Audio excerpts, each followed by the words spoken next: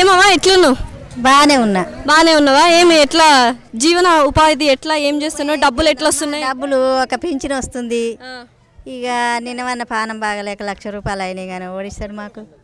So pension ఎక్కడి నుంచి వస్తుంది నీకు? కేసీఆర్ ఇస్తుండు. కేసీఆర్ గారు ఇస్తున్నారా? సరే మరి ఎలక్షన్స్ ఏమనుకుంటున్నావు? ఏం కథ? ఏ లక్షల నుంచి ఇక ఇప్పుడు ఇన్ని రోజుల నుంచి ఆ చిలక పైసలు వేస్తుండే మళ్ళీ పింఛన్ ఇస్తుండే ఇంకా ఆయనకే కార్కే ఇస్తుండే పిరి పిరి బియ్యం ఇస్తుండే. ఇక ఇప్పుడు ఆయన కార్కే వేద్దామని మేము. కార్కే ఇస్తున్నారు మళ్ళీ అయితే ఓటు. కార్కే. సో ఇంకా మంచి అభివృద్ధి చేస్తారు కార్కే వేస్తే అంతేనా? కార్కే. నువ్వమ్మా ఏం చేస్తున్నావు? ఎట్లా? డబ్బులు ఎట్లా వస్తున్నాయి? ఏం కదా? ఏముందమ్మ చెయ్య నేను ఏం చేయ చేత కాదు. వృద్ధాప్యం పింఛన్ వస్తుందా? వస్తుంది నాకు. కేసీఆర్ ఇస్తుండు. కారు బియ్యం ఇస్తుండు. ఆ? ఇక మేము అదే బతుకు మాది ఇక. సో దాంతో జీవనం వెళ్ళదీస్తున్నారు నాకు ఆడపిల్లలు. ముగ్గురు ఆడపిల్లలు అయితే పెళ్ళిళ్ళు అయిపోయినాయి మేము ఇద్దరమే ఎవరు లేరు. ఎవరు లేరు? మీ ఇద్దరే? ఉమ్. సరే మరి ఓటు ఎట్లా? ఏమి సంగతి? అన్నం పెడుతుళ్ళకే ఓటేస్తున్నాం కదా కేసీఆర్ మంచి మాట చెప్పినావు మరి. కేసీఆర్కే వేస్తాం మేము. ఏమ్మా? చెప్పమ్మా ఏం ఏం కథ? ఎట్లా? కేసీఆర్కి ఇస్తారా? ఎందుకు? ఎందుకు ఎందుకు కేసీఆర్ గారికి? అది ఇస్తాడు కాబట్టి కేసీఆర్కి ఇస్తాడు అవునా? ఇంకా ఇంకేం చేస్తున్నారు? ఏం లబ్ధి పొందినావు? అంటే అన్నం పెడతాడు కదా బియ్యం ఇస్తుండు పింఛన్ ఇస్తాడు. రాజనరసయ్య గారు చెప్పండి ఉప ఎన్నికలు వచ్చేసాయి మునుగోడులో. మునుగోడు ప్రజలందరూ ఈ ప్రచారం కోసం చూస్తున్నారు. ఎలాంటి ప్రచారం జరుగుతుంది? ప్రజల వద్దకి ప్రతినిధులు ఎలా వస్తున్నారు? సో ఎవరు గెలుస్తారు? ఎలా ఉంది అసలు?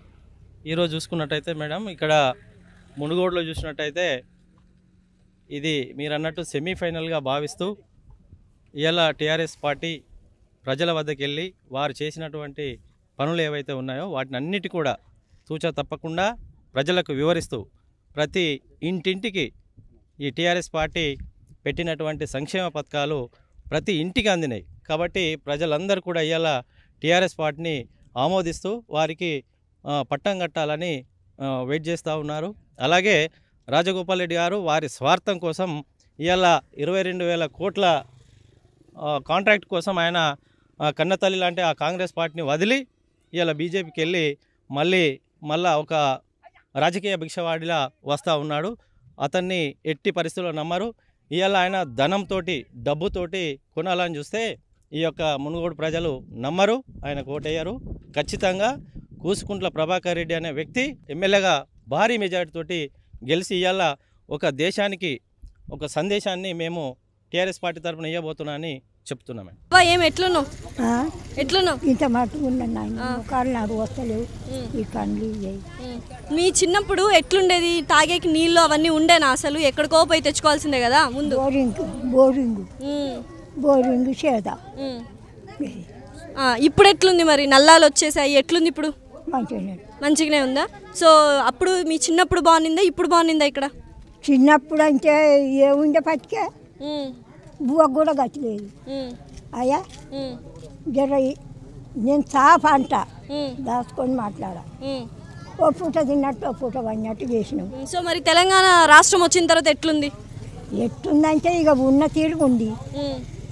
ఇంకా పెద్దగా అయ్యేది తెలియదు చిన్నగా అయ్యేది తెలియదు. మొత్తానికి అయితే నీళ్ళు నల్లాలో నీళ్ళు వస్తున్నాయి. ఆ, మరి పింఛన్ ఎట్లా ఏం చేస్తాను? పింఛన్ వస్తుందా నీకు? వృద్ధాప్య పింఛన్? వస్తుంది? వస్తుందా సో దాంతోనే నీ జీవనాధారం అంట. అదే తీసుకొని అదే దాంతోనే బతుకుతున్నావు అంతేనా? నా కొడుకులు నెల నెల పెడుతుర్రు. ఇల్లు జాగలేదు ఒక కర్ర అంటే లేదు. ఇద్దరికే సరిపోయింది.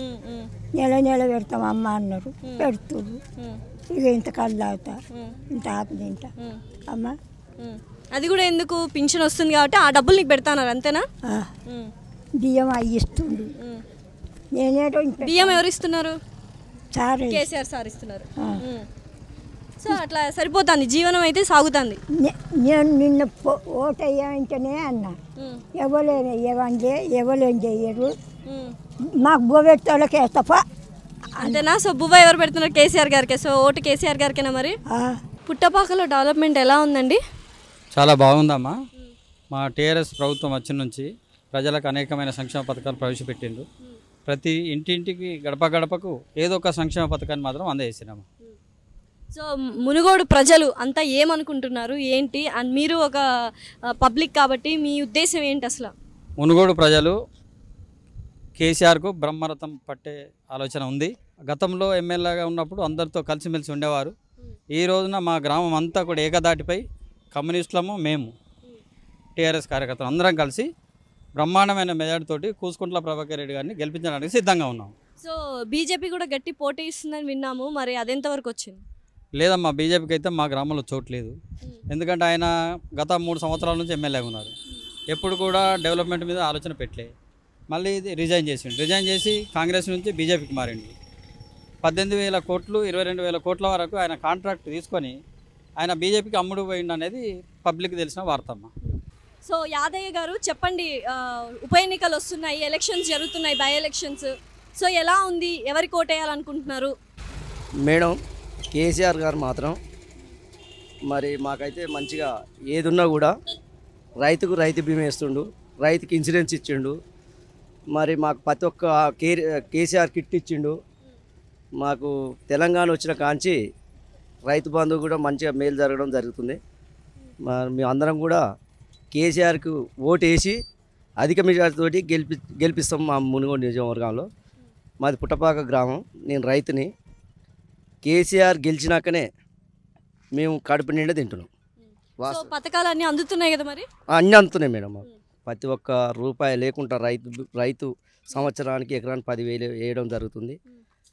మాకు ఆడపిల్లల పెళ్ళిళ్ళు చేస్తుంటే కళ్ళ లక్ష్మి ఒక లక్ష పదహారు అందడం జరుగుతుంది. రైతు చచ్చిపోతే ఐదు లక్షల బీమా అందుతుంది ఆ? ఒక ఆడపిల్ల డెలివరీ అయితే మాకు పదిహేను వేల మగ పిల్లగాడు పుడితే ఆడపిల్ల పుడితే మాకు అది కూడా ఇవ్వడం జరుగుతుంది. సబ్బులతో సు- సుధాగా ఇవ్వడం జరుగుతుంది మేడం. వాస్తవంగా తెలంగాణ వచ్చినాకనే రైతాంగం బాగుపడ్డది. జనాలు కూడా మంచిగా మాకు రూపాయి కిలో బియ్యం కూడా ఇస్తున్నారు. ఇప్పుడు ఉచిత బియ్యం కూడా ఇస్తున్నారు కరోనా కాంచి. మేము మంచిగా తింటున్నాం మేడం. కేసీఆర్ ఉన్నన్ని రోజులు మా ప్రజలకు ఎలాంటి డోక లేదు. సో ఓటు హక్కు ఉందా నీకు సో ఎవరికి ఓటు ఏంటి ఉప ఎన్నికలు వచ్చాయి కదా? సో ఎలా ఉంది? మీద టీఆర్ఎస్ గెలుస్తుంది ఇప్పుడైతే టీఆర్ఎస్ సో ఎవరు గెలుస్తారు ఫస్ట్ టీఆర్ఎస్ అవునా? సో ఎందుకు? ఎందుకంటే ఇక ఇక్కడ మెజార్టీ టీఆర్ఎస్ ఉంది టీఆర్ఎస్ గెలుస్తుంది. సో మీ ఫ్యామిలీలో ఎవరైనా పథకాలు లబ్ధిదారులు ఉన్నారా అందరూ? పింఛన్ కానీ రైతు బంధు రైతు బీమా ఇవన్నీ ఉన్నాయా? Daddy farmer. సో అందుతున్నాయి అన్ని? సో మొత్తానికి టీఆర్ఎస్ గెలుస్తుంది అంటారు సార్ మీరు చెప్పండి సార్ ఎవరు గెలుస్తారు ఈ ఉప ఎన్నికల్లో? ఎవరెవరికి పోటీ గట్టిగా ఉంది? ఇక్కడ టీఆర్ఎస్ అభ్యర్థి ఖచ్చితంగా గెలుస్తాడు. ఎందుకంటే గడిచిన ఎలక్షన్లో ఎమ్మెల్యేగా గెలిపిస్తే ఆయన స్వార్థం కోసం ఇలా ఒక రెండు వేల కోట్ల కాంట్రాక్ట్ కోసము మన మునుగోడు ప్రజలందరినీ కూడా దూరం పెట్టి ఆయన స్వలాభం కోసం ఇలా పార్టీ మారింది కాబట్టి ఆయనకు ఎవరు కూడా ఇక్కడ ఓటేద్దామని సిద్ధంగా లేరు. ముఖ్యంగా ఈ పుట్టపాక గ్రామంలో కమ్యూనిస్టుల కంచు కూడా ఇది. కమ్యూనిస్టులు అందరూ కూడా మా టీఆర్ఎస్ పార్టీతో పొత్తాయి. అందరూ కూడా ఏకాభిప్రాయంలోని రేపు జరగబోయే ఎన్నికల్లో మునుగోడు ఎన్నికల్లో దేశవ్యాప్తంగా చర్చ వస్తుంది ఖచ్చితంగా మా యొక్క టీఆర్ఎస్ పార్టీ అభ్యర్థి కూసుకుంట ప్రభాకర్ రెడ్డి గారి భారీ మేడతో గెలుస్తున్నారు. సో మీరు చెప్పండి అసలు సెమీఫైనల్స్గా భావిస్తున్నారు మొత్తం. సో ఎవరు గెలుస్తారు ఏంటి మీ ఉద్దేశంలో? ఇప్పుడు ఇక్కడ మనం చూసుకున్నట్టయితే ఇక్కడ మునుగోడులో భారీ మెజారిటీతోని టీఆర్ఎస్ అభ్యర్థి కుచుకుంట్ల ప్రభాకర్ రెడ్డి గారు గెలుస్తారు. కేసీఆర్ గారు ప్రజలకు చేస్తున్న సేవ అందరూ చూస్తున్నారు ఇక్కడ. మొన్ననే ఎలక్షన్ జరిగి ఆయన ఇచ్చి ఆయన లా- స్వలాభం కోసము రాజీనామా చేసి బీజేపీలోకి పోయి తన సొంత లాభం కోసం పోయింది కాబట్టి ప్రజలు ప్రతి ఒక్కరు గమనిస్తున్నారు ఇక్కడ కేసీఆర్ ఫలితాలు ఇక్కడ ప్రతి ఒక్కరికి ఇంటింటికి అందినాయి. ముఖ్యంగా ఫ్లోరైడ్ తోటి ఎన్నో సంవత్సరాలుగా ఏండ్ల తరబడి బాధపడ్డారు ఇక్కడ. దాన్ని కేసీఆర్ గారు గెలిచినాకనే తెలంగాణ వచ్చినాకనే ఫ్లోరైడ్ బాధిత రహితంగా నల్గొండ జిల్లాను చేసిండు కాబట్టి ప్రజలందరూ ఈ ఈ అవకాశాన్ని వినియోగించి కేసీఆర్ గారిని భారీ మెజారిటీతో గెలిపిస్తారని మేము ఇక్కడ మునుగోడు ప్రజలందరం కోరుకుంటున్నాం.